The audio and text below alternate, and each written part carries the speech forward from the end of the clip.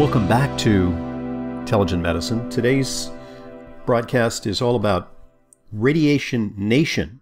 It's a new book. Well, it's a book that's been out for a little while. Uh, Daniel T. DeBaun is the author, along with uh, Ryan DeBaun, uh, who I presume is your son, Ryan? Yes, he is. Okay. Mm-hmm. And they collaborated on uh, a book that is, quote, your complete guide to EMF protection. Subtitled The Proven Health Risks of EMF Radiation Emissions and What You Can Do to Protect Yourself and Family. And so you were about to tell us uh, an anecdote about um, the telecommunications industry. Um, uh, yes. Um, there is a, a consortium uh, represented at the, um, uh, the national level that represents the service providers, and it's been around for 30 years, 40 years. The head of that was um, a, an individual that um, hired uh, a physician to evaluate any linkage between cancer and cell phone.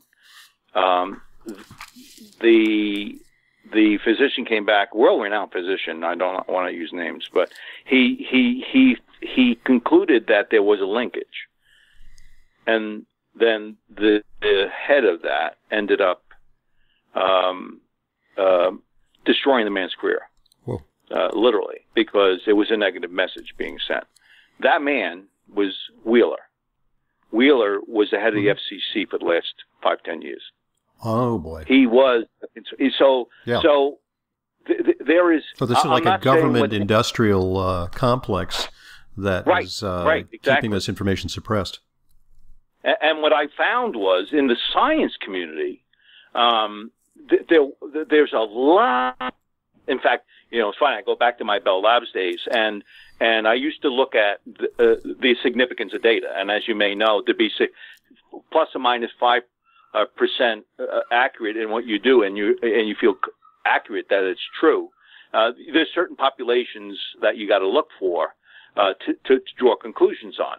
And what I found was um, a lot of stuff existed. In fact, the way I saw it was I've found a preponderance of evidence. It's not all in the same place. So my goal was simply make it available to so you can see for yourself if you think it's legitimate or not. I'm not trying to influence you one way or the other, but what I know for sure is there's clear and evident um, uh, um, data that, that that identifies potential harms for the body. Indeed. So uh, let's get to solutions. You know, how can we mitigate the problem? And and uh, and full disclosure here, you also are the developer of uh, a product or a product line uh, that attempts to tamp down some of the dangers. Yeah, it's funny. Um, going back to the story of how I got involved, um, there were products that talked about the extremely low frequency shielding, but not the RF shielding. And oftentimes I'd find that those who were producing these didn't even know that one or the other existed, or even both for that matter. So I actually um, have developed a product lines that shields the body. It's simple. It's not complicated. Mm-hmm. We simply stop the signal from entering the body. And now here's the other things. You don't need to buy any of my products if you're smart the reality of it is you've heard me talk about time and distance, right? So if if you have a signal against your head, a cell phone against your head, that is the most dangerous. That is a 1.6 watts per kilogram signal entering into the brain, and so that's when it's most uh, a, a danger. If you take it one foot away, 80% of the danger is gone by four foot 98. That is the strength, uh, the amplitude of the signal is uh, not going to be damaging to the cells of the body when you start moving it in the distance. So when you're sitting by a Wi-Fi, make sure it's a, at least four foot away. I typically recommend 10. Mm-hmm. But distance is your friend. Just stay away. And the other, so we can shield. You can uh, distance yourself from the from the uh, signal, or you can reduce the durations of time you're using these things. You know, we were talking about if if if if in in the medical community they're using electromagnetic radiation so long as it's not on for several hours a day, which they're typically only minutes, by the way, mm-hmm. you're pretty safe. So Yeah. durations are the other thing you need to be concerned about. Right. So Um, so A- a it- concern- it's simple metric. a concern that I have, and, and I've been sort of a, a luddite about this, a, a, like a not an early adopter, is um, Bluetooth headsets. Um, you know, where it's tempting to ditch the wire, lose the wire, and uh, buy one of these uh, Bluetooth headsets. And I, you know, I see people jogging with them. Um, you know, sometimes it's a hassle having a wire leading from your uh, iPod to your to your um, uh, headset when you're jogging or when you're exercising. So you're tempted to get Bluetooth. There's a great new uh, Bluetooth Apple uh, earlets uh, that are, you know, supposedly the sound is killer, and um, and and so it is it really important to avoid using those devices, or um, can they be used for short durations with uh, safety? Uh, uh, Dr. Ronald, he, here's some metric that you may want to use to make those choices yourself. Yeah. Um, when, when you use a cell phone and it connects to a cell tower, that that strength of the signal can get you almost five miles. Hmm. When you use a Wi-Fi w- w- with your cell phone, it can go about 500 feet, three to 500 feet, Mhm. depending uh, on. Uh, and if you use a Bluetooth, it can go on uh, about 30 to 50 feet, depending. Mhm. Yeah. So the energy levels of all of those three differ. Yeah. However, they're all an RF signal between the one and two gigahertz space. hmm So when I talked about duration, if you're looking to put your Bluetooth headset on and you're going to use it hours at a time, I, I certainly wouldn't recommend it.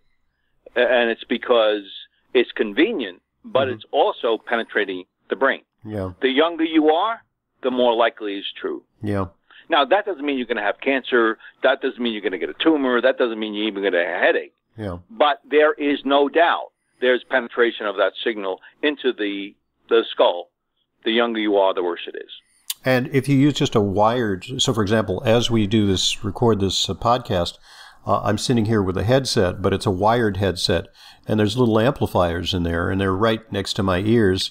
And I've been doing, I've been broadcasting for 30 or 35 years, and I do, you know, probably on on an average, you know, four, five, six hours of broadcasting per week. Um, does that pose a hazard? It does. The magnitude of the of the hazard is low. Okay, because I'm Um, using a wired, you- you a wanna- wired uh, head headphones. Right. The the worst thing you can have is put it against your head. Um, That's- the the that's much what it is. better solution That's what it is.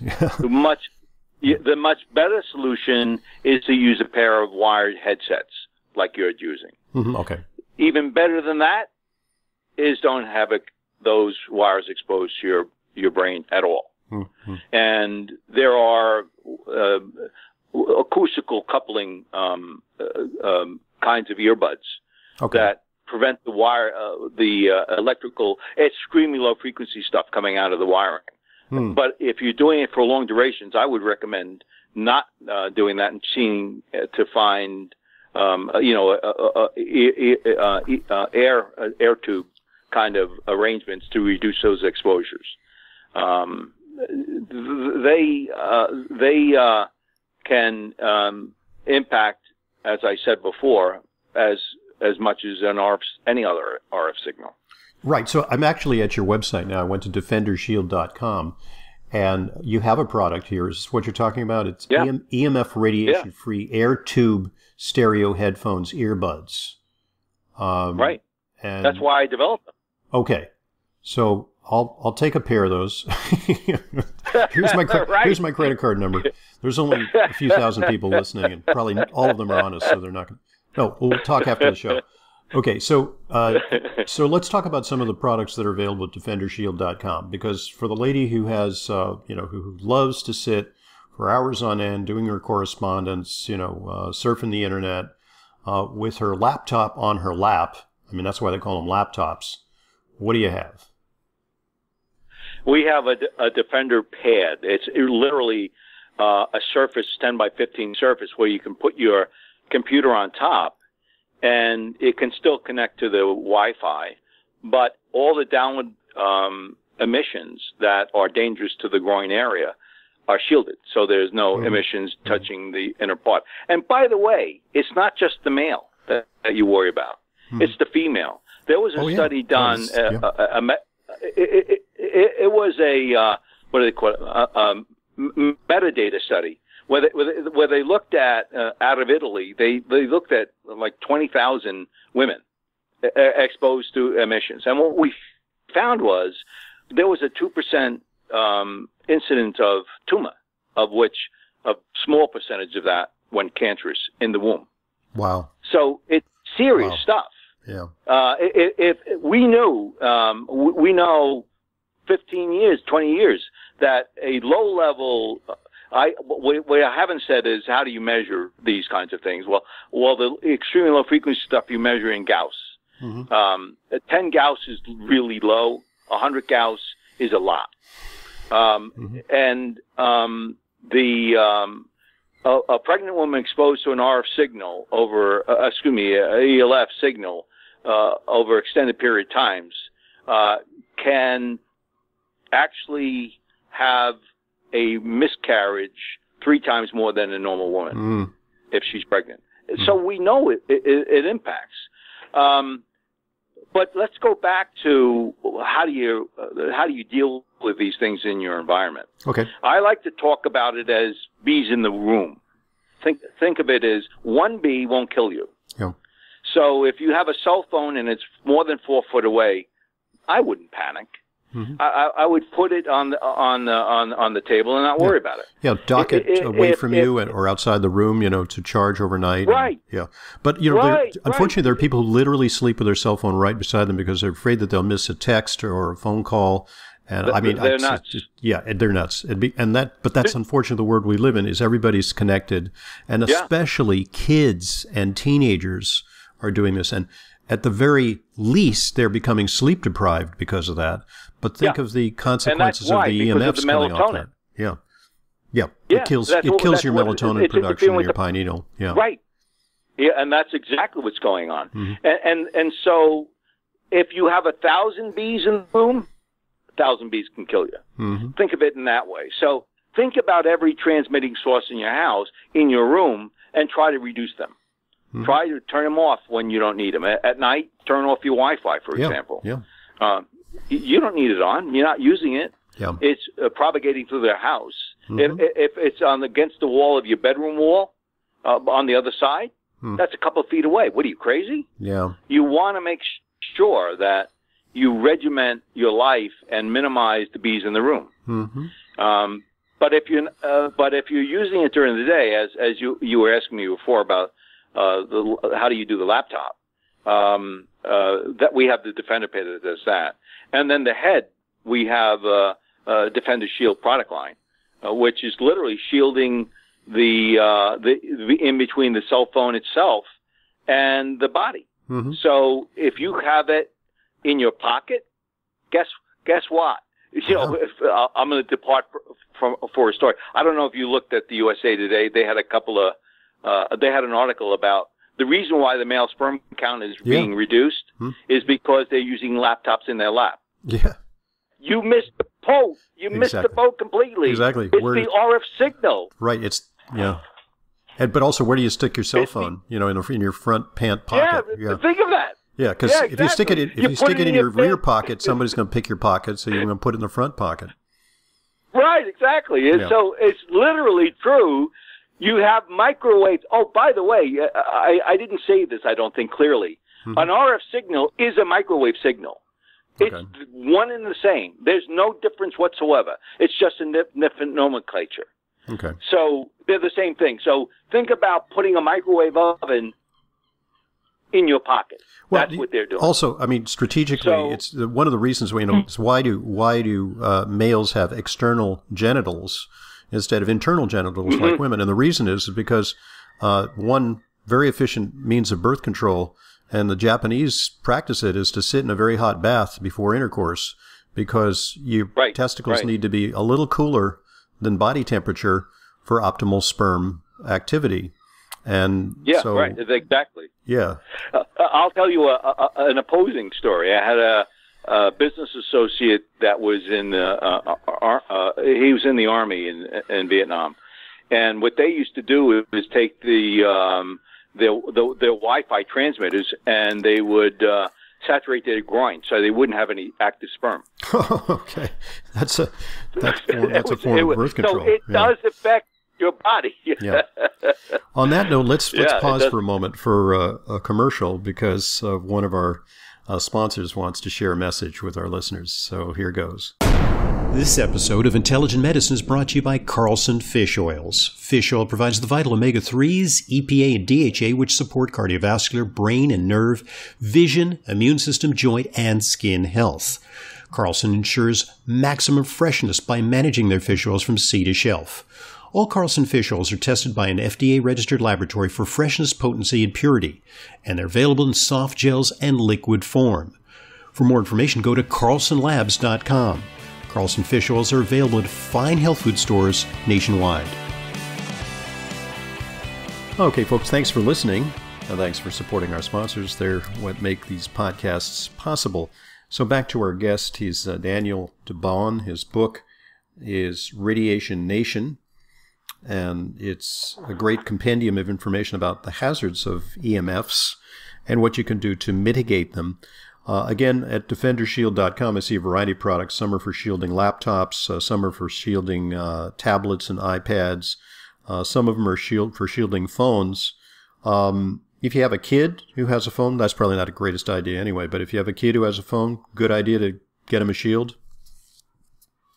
There's, there's no doubt. And as I said before, the standard allows a child to have an exposure where the signal goes completely through their head. And think about this. That's a lifetime of exposure. What's the biological impact of that? Mm-hmm. No one knows. Yeah. Because you know, we'll, we we'll, know, we'll know in like 40 or 50 years. yeah, exactly. Yeah. Uh, uh, you know, it's funny. There are some experts, science um, experts, that, that talk about impacts to the egg of a, uh, of a teenage girl. Hmm. And th- they, th- there is evidence that uh, what we know is there's can be DNA damage. We haven't yeah. talked about the details of that stuff. We, we know that all your, your eggs are present at uh, you know right. certain, in childhood and in puberty. Right. Uh, they just need to develop, and the egg that may make a baby when you're 32 uh, was present when you were uh, 14. So. Yeah, um, and and you and you take your your cell phone and you put it in your pocket every day as a 12 year old. Mm-hmm. So you're exposing that egg that is your lifetime uh, um, nest of eggs. Yeah. And so there are some experts that believe the, the catastrophic events are in the future in subtending re- re- generations. That there's DNA damage that occurs to the uh, to the to the egg, and then you have subtending generations that are now carrying the um, mutated cell. Um, and, and so there are some, I don't necessarily believe that because I'm not sure there's any evidence for that, but some postulate that that's true. Well, I, I must admit, I was relieved to see when I went to defendershield.com uh, that I didn't see one of those little uh, metallic pendants that you throw around your neck that has some kind of uh, insignia or emblem on it uh, that's supposed to somehow mysteriously shield you from all misfortune. I've seen those uh, on sale. What do you think of some of the devices that are out there uh, that uh, purport to shield people from radiation? Uh, do you think that uh, they're as scientifically based as your devices? No, not at all. In fact, that's the reason why I got into this business because I had a science background. I ran laboratories based on science and evidence of science. Mm-hmm. And, and, then uh, I, I, came into this industry and I started seeing these claims about um, harnessing RF signals with with a rock, uh, with, with a processor, with, uh, and absolutely no unbiased, independent uh, evaluation from a, the scientific community about the the accuracy of the claims. Very few do. I recommend truly please look for evidence that is independent and clear. And don't look for indirect evidence. As you may know, uh, uh, uh, uh Doctor, uh, uh, that, that uh, when when you have a, a, a RF signal touching your body tight, it changes the red blood cell count. Mm-hmm. And and and so um, they these people claim that when you have our device, you won't see red blood cell count uh, ch- uh, change um, from a normal uh, to from, to an abnormal case. Uh, that's indirect study. It's not mm-hmm. an impact to a to a cell. Mm-hmm. You, you so a lot, a lot of these say they're uh, medically proven to work. Hmm. They're not proven to shield you. They're not proven to protect you. There may be some indirect laboratory work that said uh, we didn't see any blood cell change.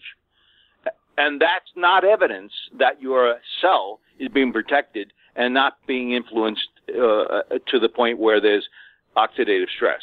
Oxidative stress is what happens. And by the way, oxidative stress, I talk to um, um, uh, uh, uh biochemists often about, about this subject matter, uh, and the uh, the oxidative stress um, is, a cell's a cell, and anytime it's impacted by its environment, it it, it goes into a a state of trying to protect itself uh, under a weakened state. What happens when it goes weakened? The proteins that pass between one cell to the other to keep them happy can't pass through. And what happens to that? People now say, every time I get close to a cell phone, I, my head hurts. Every time I get close to a phone, my, my ears hurt. What are they actually saying? What they're saying is they're electromagnetic hypersensitive and the cells have weakened to the extent where it's more long term now. And so there is really a, a, a, evidence that electromagnetic hypersensitivity is actually increasing. Hmm. Um, and it's because of the direct correlation, in my opinion, uh, to the toxin that's the RF that we're exposed to. And finally, what about people who live close to cell phone towers? Because it's that's one of those sort of NIMBY issues, you know, not in my backyard. You know, I'd love to, I'd love getting a great cell phone service in my neighborhood, but I won't accede to having an ugly cell phone tower uh, that spoils my view. But is it of concern if uh, they erect a cell phone uh, tower on your roof, for example? Uh, you know, because your landlord wants to make a little extra dough. There's no doubt whatsoever that in uh, in the in the, uh, uh, the world of war, RF signals are used as a weapon, mm-hmm. and what they know is if they have the amplitude of the signal strong enough, durations long enough, these are the kind of impacts to the body that will be created. And incidentally, and, and there was so, just an episode of this because the uh, the diplomatic corps from Havana had to be evacuated uh, back to the mainland. And I'm not sure if this is uh, EMFs, but they directed some very high frequency uh, sound waves at the uh, embassies, uh, the consulates down there, and yeah. Uh, it caused hearing damage serious enough to have to require that these diplomats be evacuated. Yeah, this has been this has been going on for the last 20 years. It's it part the of Russians did it to um, to our diplomats in Moscow. Right. Yeah, they know they can cause leukemia with the right amplitude and right duration. Wow. It, it's a, a, a, pretty well understood science in, in the warring space. Wow. My point is, long durations are dangerous. So when you're close and the distances are close, that's not a good thing. And some argue, by the way, it's going to get worse before it gets better. Uh, we haven't spoke about 5G. Mm-hmm. Uh, I don't know if you've heard of the technology space is always trying to improve yeah. um, um, the uh, bandwidth. 3G, uh, so 4G, they can have 5G, more data. Yeah, yeah. Right, right, exactly. 4G is um, is a signal that is a digital signal. And here's a little bit of detail. A digital signal is a pulsing on and off signal. So it's more damaging to the cell than a um, a analog signal. Why? if I take um, a, a, a, a, iron bar and I put a uh, ten thousand pound load on it on a piece of concrete and I keep it a constant load, that concrete won't break. Mm-hmm. If I lift it up and if I push it down, it becomes a jackhammer and Yeah. it breaks right away. Yeah. So there's a different physics associated with current transmissions that are hitting our body. From 4G to 5G, it now becomes a case where um, they call it MIMO, multiple in, multiple out. It's not just a pulsing digital signal. It's multiple pulsing digital signals. And the frequencies are 10 times to 20 times higher than the current frequencies. Wow. And the FCC just allowed that to be done. And in fact, you know, we talked about local municipal- municipalities. There's actions by the federal government actually to not require approvals of those transmitters in those communities. A cell tower can be five miles away and work. These can only be, they have to be less than a mile away. Hmm. So a half a mile typical. Wow. So you're going to have more bees in your environment that potentially are more harmful. Wow. All right. Much more detail on this subject uh, in the book Radiation Nation. Uh, I recommend it very highly. Uh, and it's available from the usual sources. And you can also get it from the website. Uh, what is that again, please? Uh, that's defenderpad.com, uh, defendershield.com. hmm Yeah, defendershield.com. Uh, or you can get the book at uh, radiationnationbook.com. And I presume all the other usual sources. Uh, Oh yeah, I, I'm, uh, you can get it from. Uh, we were number one in um, in in, in uh, Amazon uh, for a while. Uh, it's pretty. Uh, there's a lot of been a lot of interest, uh, which I'm very excited about because our whole goal was to try to help people understand the environment they're living in. And I didn't write it for you, by the way. I wrote it for your mother, your, your, your daughter. yeah, no. You, you know what I mean? It No, was it's really important that we understandable. Yeah, yeah, you want to try to get it so it's understandable and not over the heads of those who are reading it so they can decide what they want to do in their environment and deal with uh, that in their lives the way they choose to do it. Well, it, it's excellent. Practical suggestions, uh, good science, and and I have to say this is a concern. that's so, so often ignored. You know, we care about uh, the quality of our food, our water, our air, uh, and yet this is uh, an invisible source of pollution uh, that's very real, and that I think we have to come to grips with uh, in some way. Uh, before major health problems emerge, and it's going to be subtle. It's because, like, what's causing these epidemics of serious life-threatening diseases, but also you know sort of uh, annoying uh, health problems, not uh, health problems that kill people, but uh, fatigue, headaches, malaise, uh, mood problems.